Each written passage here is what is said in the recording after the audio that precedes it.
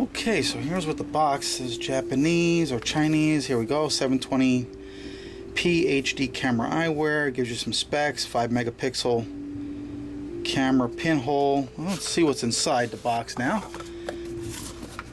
There go. Opens up this way. Got the glasses.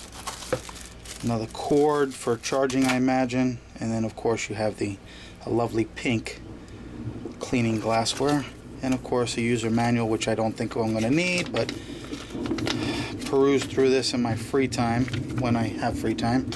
Okay let's let's get down to the glasses themselves shall we? Okay so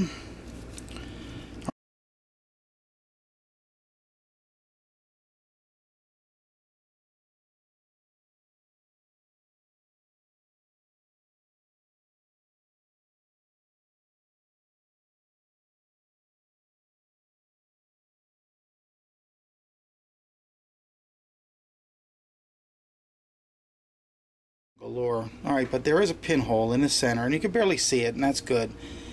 And of course, you got your little camera port here, I guess this is, or this may be your SD card.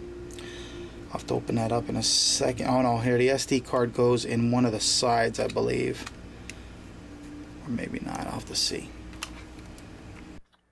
I finally got it open. This is the charging port right here, as you can see.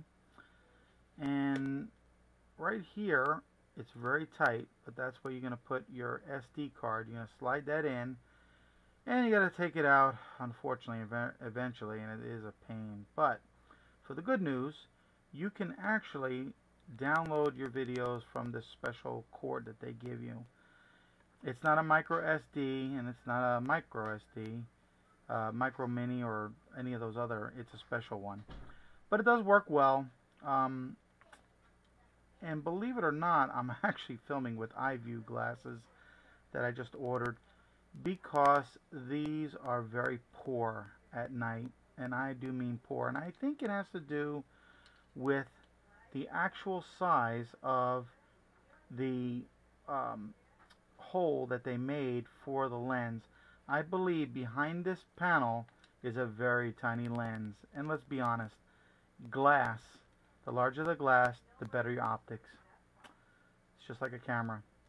Anyway, so that's my review on that for now. And the next part, we're going to go around SeaWorld and show you exactly walking with these glasses. And then I'm going to slow it down so you can kind of see the, uh, the, the slow motion frame rate.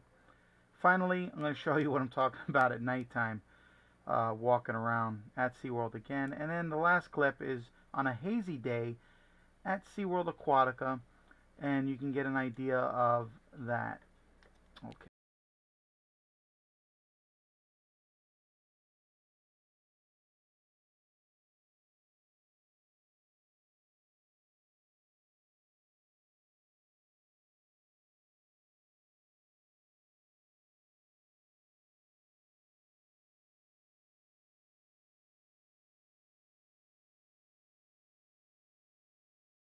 Okay, I'm trying out the new glasses while walking, see how the quality is. And audio. I'm just walking at a regular pace now. And we'll see how it records.